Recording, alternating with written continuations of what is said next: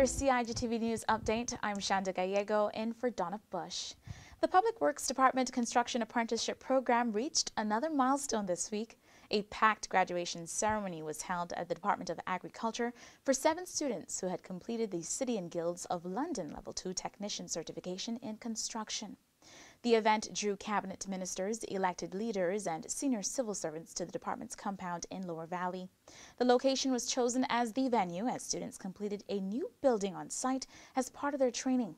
To mark the occasion, CIGTV spoke at length to the Cayman Islands Further Education Center, an early partner of PWD, about the program. And we also asked graduates about their contributions and how the program has benefited them. Um, three years ago, we sat around a table, all of us putting our heads together and looking at how we could actually make this program work.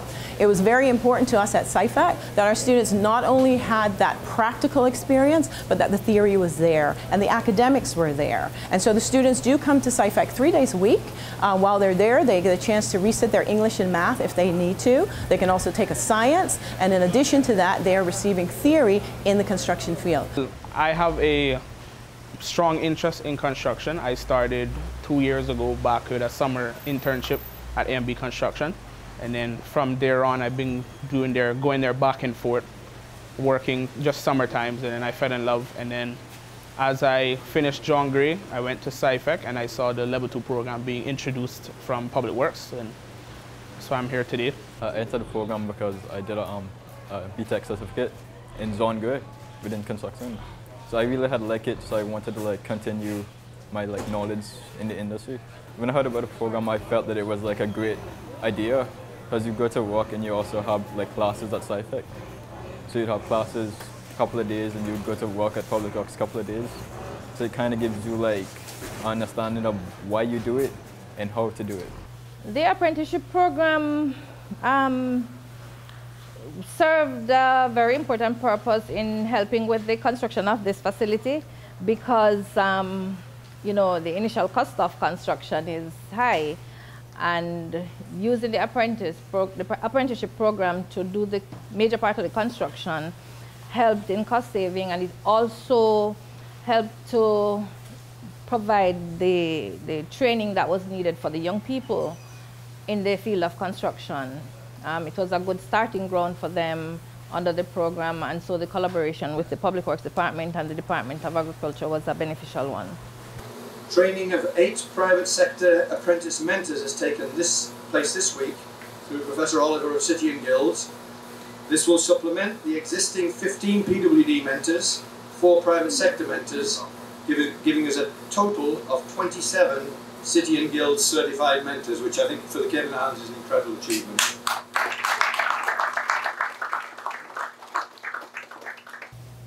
I must say that um, we were very grateful to have this the program collaborate with the department for the construction of the building. Um, the, the work that was done, as you can see from the building, the quality of work that was done is very, very good, and we're really appreciative of it. And so we just want to thank CIFEC and the Public Works Department for the wonderful work that was done, and so in the end, after this graduation, the building will be handed over to us and we will gladly use it for our training and demonstration purposes. I am so excited. This is what we wanted. This was the whole purpose of this program, to see our students actually develop the skills to produce something and to be able to go out there and say, yes, I can do this. And so it's really exciting to see the work that they've done. I've heard people already say, wow, what a good job you've done. Uh, somebody over here is trying to broker them to do some work for them. Uh, and so it's exciting. It is very exciting to see the fruits of their labor. They worked really hard. They've applied themselves. They've studied hard. So it wasn't just the practical, it was the studying as well. And so as you can see, this is the, the fruits of their hard work. And that is your latest news. As always, if you missed today's news update, you can get all the details on our Facebook and YouTube pages. And of course, don't forget to tune into Radio Cayman's For the Record and Talk Today shows. I'm Shanda Gallego. Thanks for watching.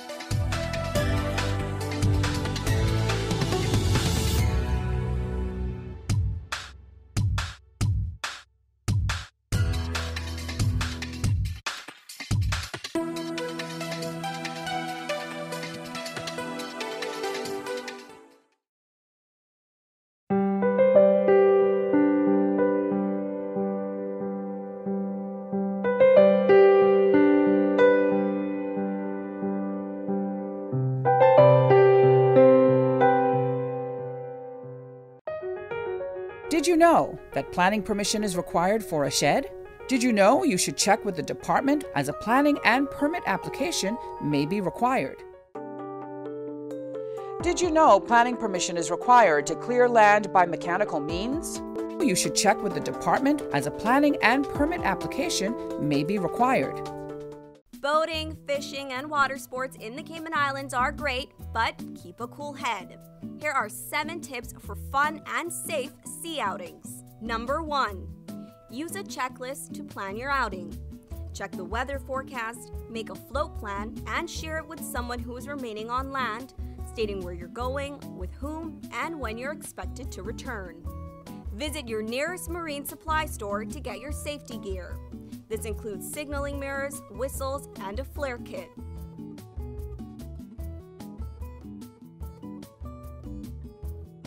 It's also very important to have onboard flotation devices and life vests for each person. There are different types of vests. Some are for water sport activities such as snorkeling, and others are for going on offshore boating or on fishing trips. Number 2. These items can be lifesavers in case of an accident or bad weather. Number 3. Use a motor kill switch, especially if you're boating alone. In case of a leak or breakdown, always stay with the boat until help arrives. If you capsize, an emergency beacon or locator device can send a distress signal to inform the authorities of your location. Larger flares will indicate distress to a boat, airplane, or search and rescue officials. Number 4. In addition to sunscreen, food, and beverages, it would be smart to have a cell phone. Make sure your marine radio works. Cayman boaters use Channel 16 to communicate. Number 5. Also, don't forget your anchor and sufficient rope. Number 6.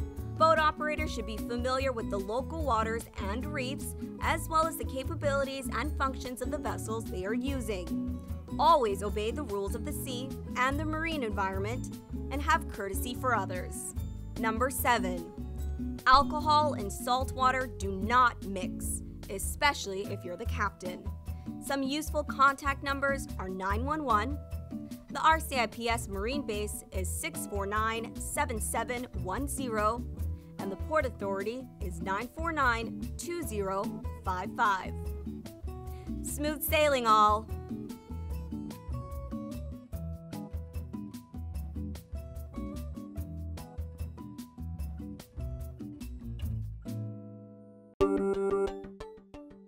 Did you know that planning permission is required for an addition, alteration, or any material change to your house?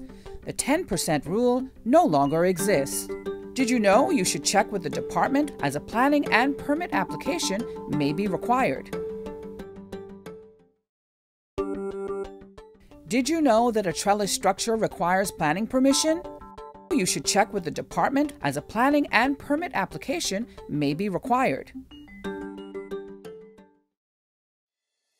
The Esterley Tibbetts Highway three lane roundabout is ready for drivers. It's time to make sure you know how to use it. First, know which exit you need to take. Pay attention to lane arrows and signs. Make sure you use your signal to change lanes or exit the roundabout. To turn left, you always approach in the left hand lane and indicate left. To drive straight ahead, you need to be looking out for signs and road markings indicating which lane to use get in one of the lanes marked with a straight through arrow. If turning right, you must use the right hand lane and indicate accordingly. To use the roundabout safely, remember these three tips. Know your exit, pick your lane, and signal to make your turn.